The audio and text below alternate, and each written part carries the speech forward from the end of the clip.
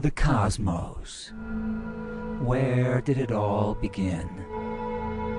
Most experts agree that it all began with the Big Band theory.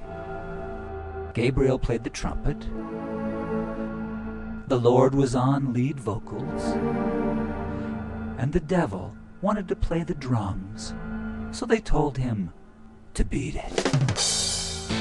Yes, ladies and gentlemen, and at the center of it all, God placed the earth. What better place to begin our discussion on a very hot topic? You say you want an evolution? Well, you know, we'd all love to see the plans.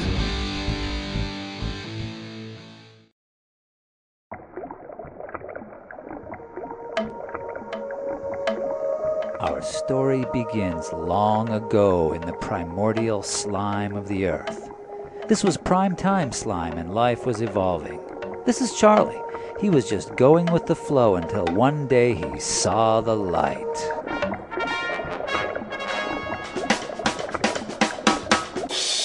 And he became Christian Fish. Yes, he was no longer a Pisces working for scale. He was born again by the Spirit of God, and he knew what he needed to do. It was time to go against the flow.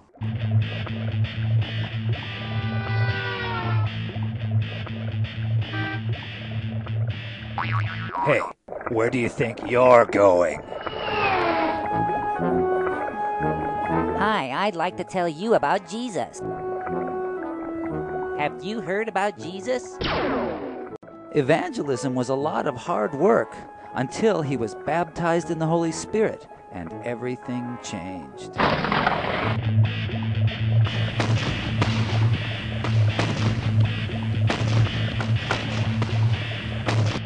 But even with the Holy Spirit, Christianity is not without trials. Charlie experienced temptation.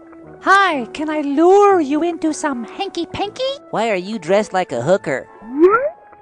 He also experienced times of dryness.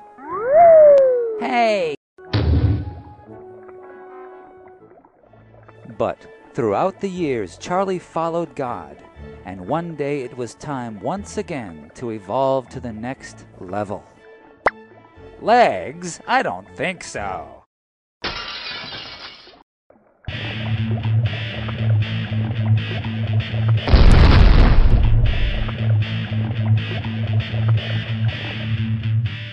The use of Darwinian evolution as a metaphor for the Christian experience is hazardous to your spiritual health and is not recommended for personal consumption. Kids, don't try this at home. For better metaphors representing the Christian experience, try the parables of Jesus, the works of C.S. Lewis, Spider Man comics, practically anything is more effective and less confusing as a vehicle for explaining Christianity than Darwinian evolution.